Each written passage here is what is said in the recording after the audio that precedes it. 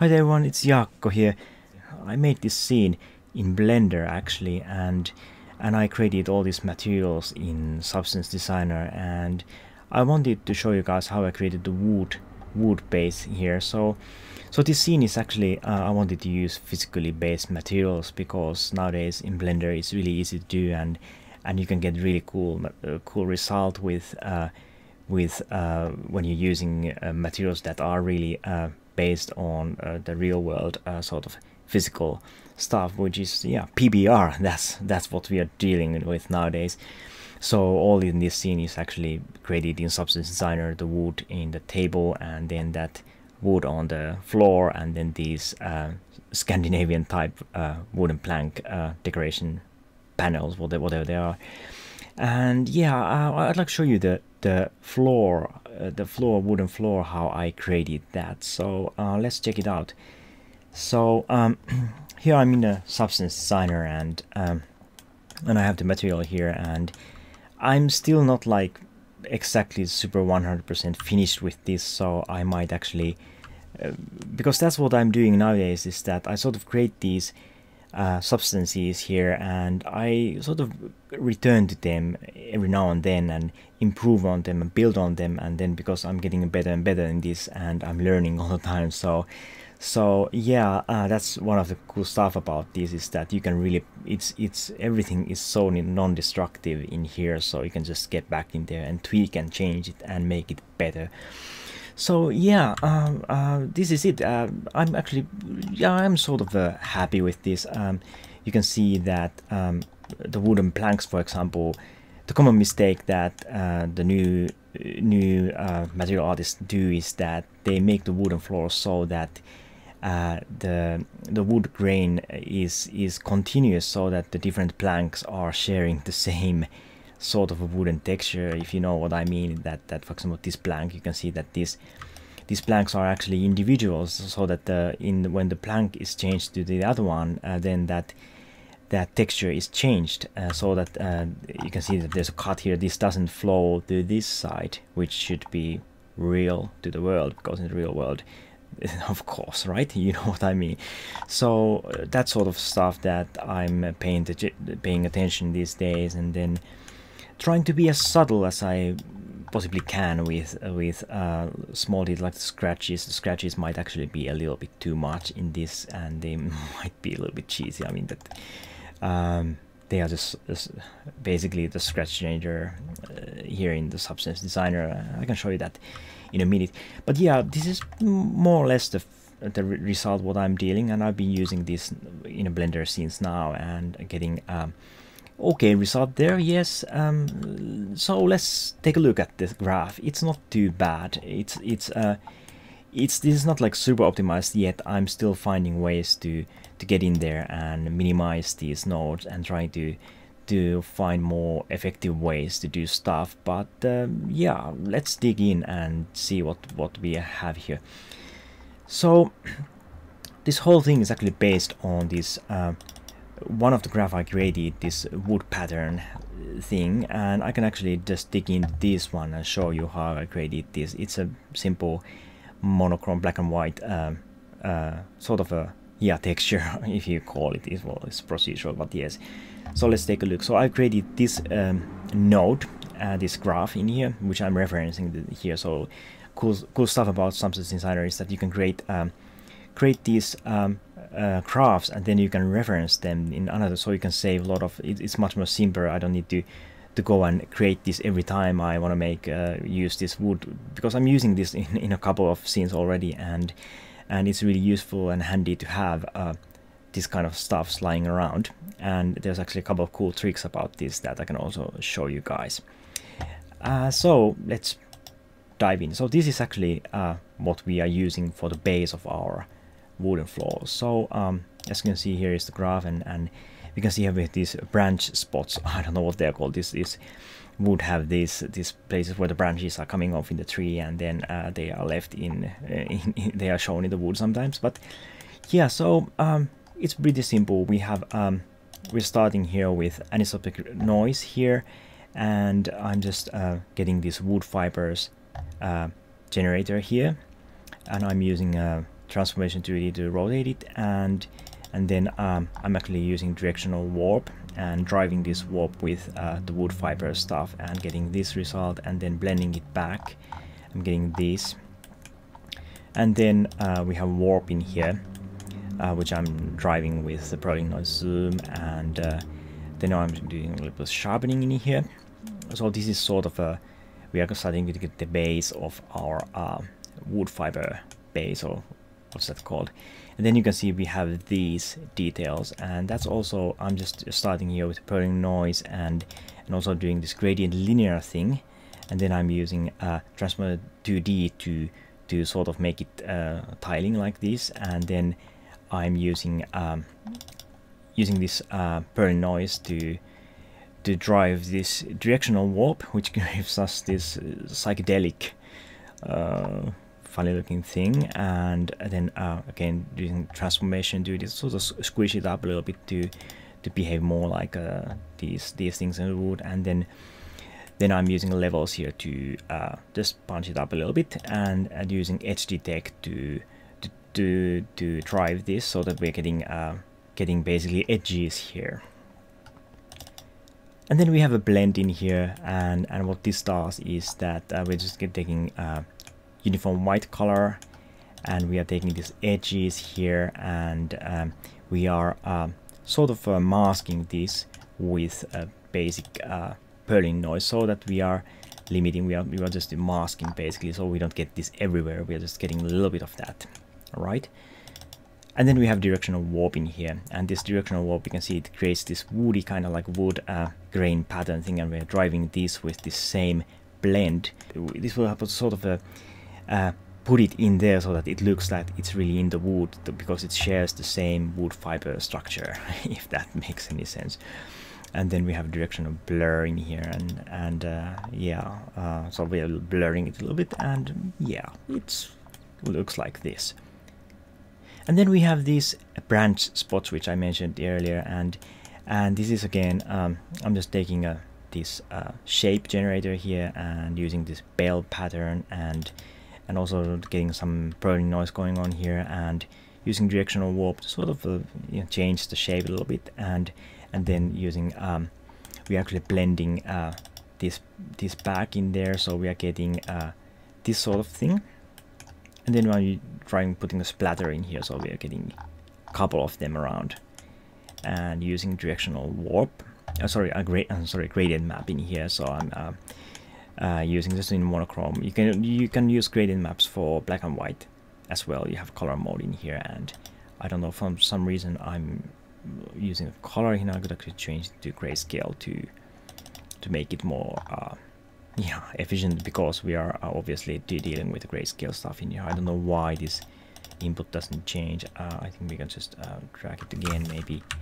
Um, Ah, because yeah, actually, it's a grayscale conversion. Going just a little bit sleepy here. I'm just gonna delete that, so it should work.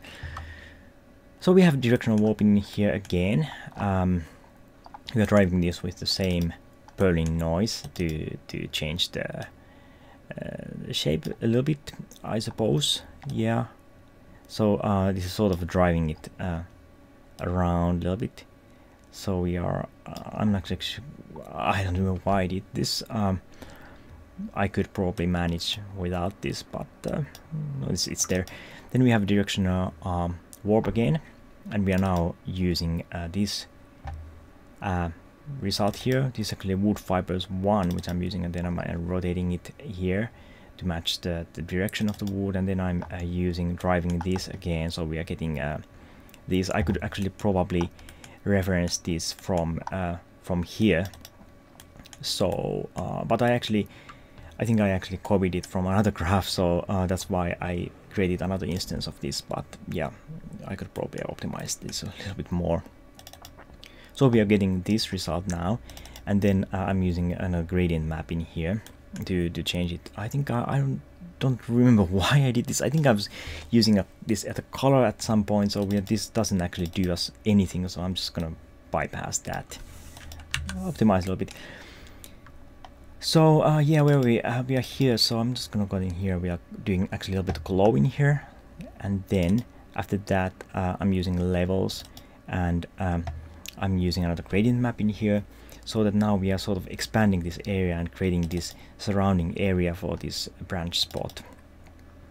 And then again directional warp in here which I'm now driving with this.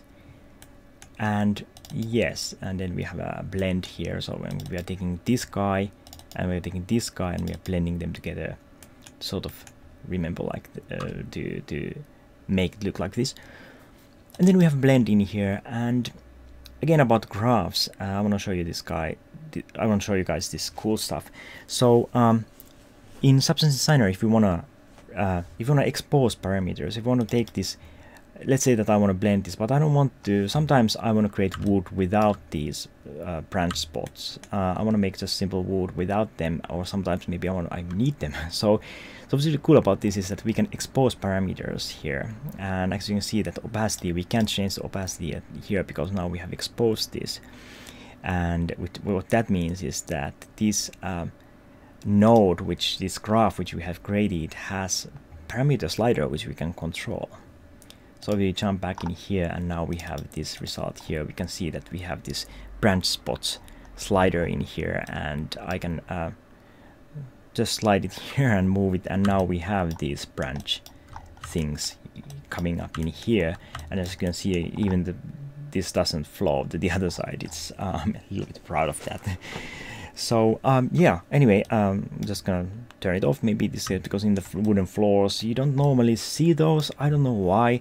Uh, maybe the wood is uh, cut out from more of the center of that uh, wood trunk so that you don't get those. You not I'm not professional in this by any means. Maybe someone who is watching this can actually educate me about how to make wooden floors and and so on. But yeah I'm just gonna leave it off. So yes. So this was anyway this is what we get from the wood pattern stuff this grayscale um, sort of a base texture what we can use to build up on and then use this as a base. Uh, as you can see, it's much more cleaner now. We have that as a separate graph, so um, we can always edit this later, of course, or we can we could expose more parameters and make it more versatile tool for us. But yeah, I've I like this workflow that I'm making these sort of uh, generators uh, which I'm reusing.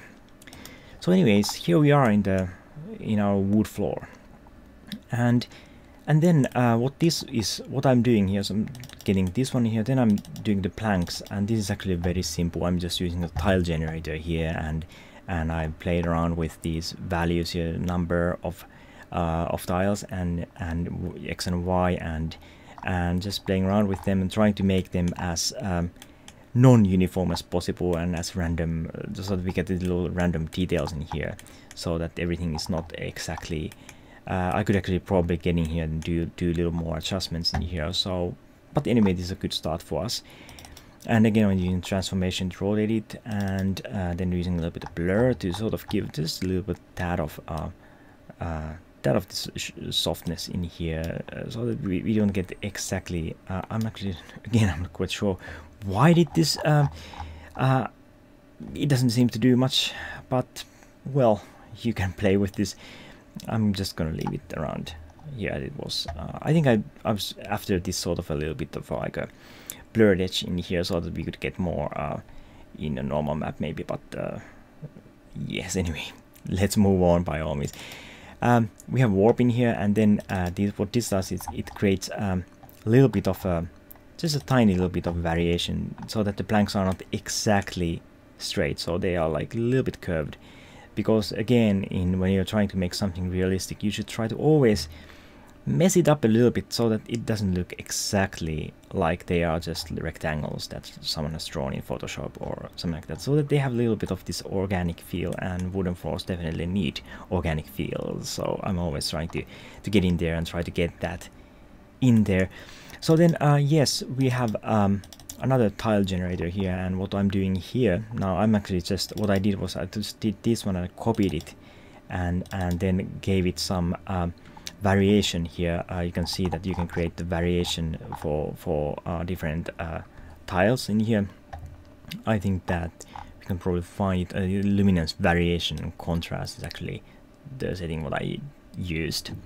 And I'm using these to drive a couple of things and I'm gonna get to the color stuff later but but first I'd like to show you this pixel processor thing and um, I'd like to try to explain this as best as I can because actually to be honest I really don't understand it even myself exactly how it is. I I watched a tutorial by Allegorithmic about uh, using um, I think the guy was doing some really cool really advanced um, uh, dirty uh, kind of a crunch crunch looking uh, wooden floor thing and then he showed me how to use this pixel processor thing and and this is really cool. So what this does is that it allows us that trick that uh, that the, the all the, each sort of planks have different grain in them so, so, that this plank has different grain than this one so that we get that proper looking uh, uh, effect where the wood planks are unique to each other so that the neighboring planks don't share the same thing so how this works is that we are uh,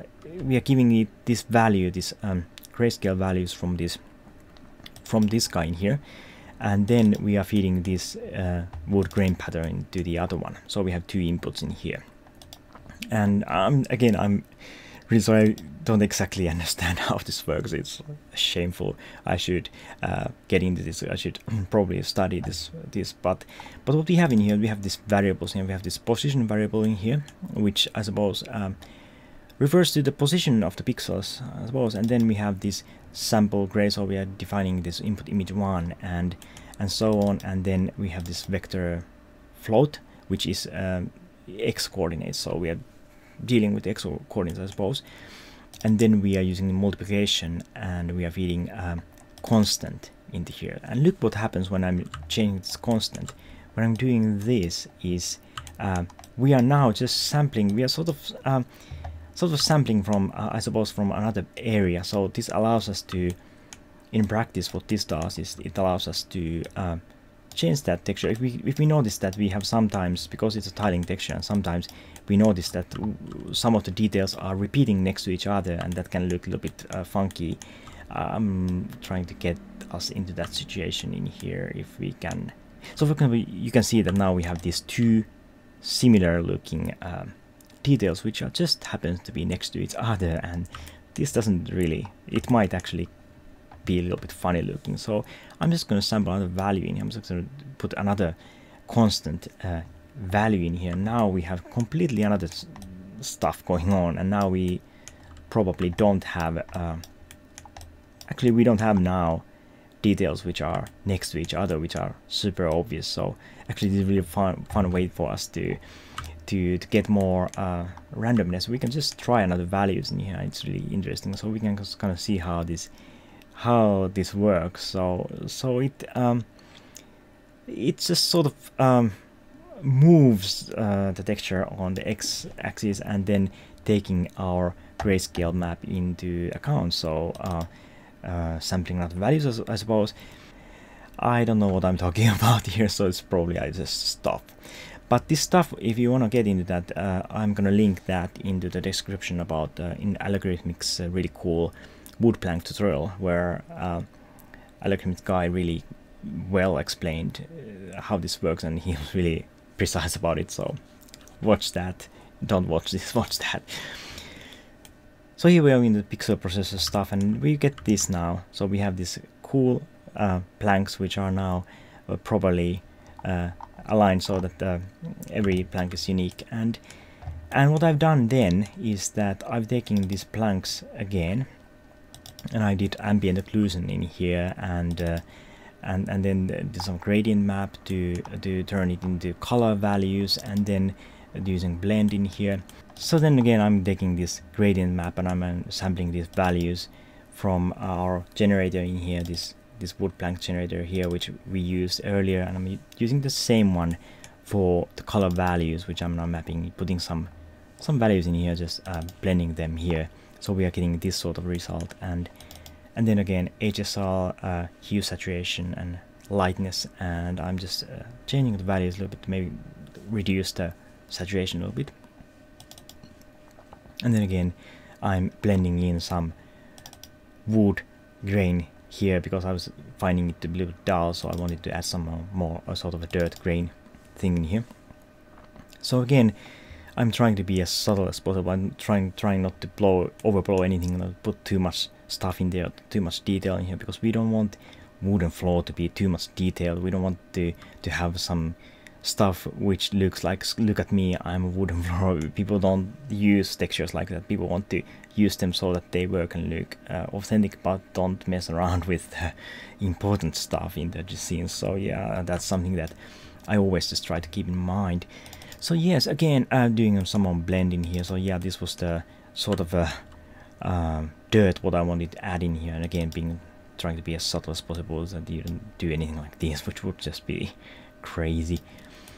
And then uh, again we are putting some scratches actually in here. I'm just uh, using do, using this grunge map in here and doing scratches generator and and then then again uh, using levels in here to flip it. So one little trick that I learned actually is that you can use levels to also invert stuff. So you can flip these guys around to just invert it basically anything. You save yourself a node by doing that in this way. So often we need to use levels anyway and then it's one way to do it. And yeah. And then yeah, I'm doing uh, another blend here. I actually um, use another scratch generator here and maybe I use a different scale and different just wanted to put some more variation in there and then I used a gradient map to transform it into to change it into color values. And and here we are. We have a the scratch is actually here now showing up there. Again very subtle so that uh, we, we don't have any too much uh, data in, in the albedo map in here. And then I've uh, also to take the scratches and I've added added them to the normal. I'm actually gonna get back to the normal in a, in a minute. And I actually noticed that um, uh, I think we don't uh, have the scratches probably showing in the in our, our roughness channel. So we have the roughness here and roughness is looking pretty simple. It's wood is pretty rough. It's it's not very glossy at all. Uh, so so I'd like to actually make the scratches uh, so that they appear white in this uh, roughness map because uh, I suppose that we have scratches and the scratches are gathering little dust and, and they are not very very glossy they are even more rough than than this. So let's do that. I'm just gonna add another blend in here. So I'm just gonna get in here and uh, put a blend in here and I'm probably gonna grab these scratches in here. I'm just gonna drag this guy in here and uh, we can see that now we have completely white so this is not wrong to take this blending mode and I'm gonna do divide which actually makes them appear per perfectly white and now pretty much white anyway and I think this is what we want more or less and now actually uh, the roughness has those so it's a little little upgrade in here and then we have our height and I decided not to put the scratches to the height because they are such a minor detail and I'm just wanting to use this height to define these blanks a little bit more to give them a little bit more depth that, that sort of the, the these these areas between the planks are sink in more so sometimes if we do super close-up renders it's good good to have this height map anyway for our use Yeah, and uh, yes, and a little bit more about the roughness channel. What I've done here is actually I take it this grunge map in here, and I'm actually putting using the same grunge to, to as I showed you earlier. I'm just putting a little bit more color values in here so that it looks a little bit more interesting. But I'm also using this grunge map to give this this um, texture, this little bit like um, it's a little dirt in there. Some people have walked over this wooden floor and they have created a little bit of like. Uh, maybe some dust in there or some kind of dirt in there which doesn't necessarily need to show up in albedo map but but roughness, roughness map is really good because it allows us to be really creative and it allows us to, to really get in there and and really drive some really cool details so this is one of the stuff i really love about metal roughness pbr workflow because it really uh, it has this roughness uh, roughness channel which is really sort of fun and easy to use that that we can just get in there and start to play with different values. And and I found it that the sort of the idea what I have in this that that sort of that the, the planks are sort of worn off that people have walked over or something and they have become sort of shiny at some point but then uh, also I wanted this uh, shininess to respect these planks which are going so that you can you can see that for example here we have this uh, shiny area which ends at this plank and then this plank again is a little bit more rough in here. So you have these these little details this sort of sort of accuracy in the details is important in this stuff and I'm, I'm trying to, to improve myself to get more get more realistic in this detail stuff so so like that. So well anyways um, I think we're pretty much uh, talk, talking about the roughness so uh, then the normal map is, is nothing really special. This is just normal stuff what you would do normally. So uh, I'm just taking normally. Ah, that's funny. So um, yeah, I'm just uh, taking these again these wooden uh, planks. This so that we get these uh, crevices between the planks, and then I'm using uh, height to normal world units in here, and I'm actually just using these values. This the service value and then the height I'm just trying to be again as subtle as possible in here not to make them too much. And then again blending in some wood grain in here wood pattern in here and then putting the scratches in here. That's it. It's very simple. It's not very noisy which I don't want it to be. And and in this case I noticed that actually if I put too much stuff in here it starts to look sort of not really good. I noticed that these type of wooden floors are actually rather smooth. They are not. They don't have too much of a detail. Maybe they are sort of a process so that they don't just show up the detail of like the wood grain. So uh, I noticed that trying to be again as subtle as possible is really good for us in this case. And again, nothing special here. We just have metallic, which is black. So this is it. It's it's not too bad. I mean, uh, some people in my YouTube videos have commented that oh my god this looks like noodle soup. It's it's not nobody can make any sense of this kind of I'm never gonna touch Allegorithmic Substance Designer. It's it's way over my head and I'm never gonna be able to figure out how to use nodes but it's really easy. It's not uh, if you can use Photoshop layers if you can figure out how to use Photoshop layers properly you can absolutely know no way around it you can absolutely master nodes nodes are nothing really special so so these are just layers basically. That's what they are. They are just a, we are we are uh, just taking something and adding or removing from it and and processing it in the chain just like putting up layers on top of each other except that with the nodes you can uh, be more efficient you can uh, be also more non-destructive because you can reuse the same message you can change um, values here very easily. So yeah um, so uh, this is it. I hope you enjoyed this tutorial and uh, hope to see you soon. I hope to make more videos soon. I'm really glad to see you guys who subscribe. So if you haven't subscribed please do subscribe. Uh, I would be really glad to to see you guys around. So uh, hope you enjoy substance designing and uh, this was Jaakko. Uh, see you soon and goodbye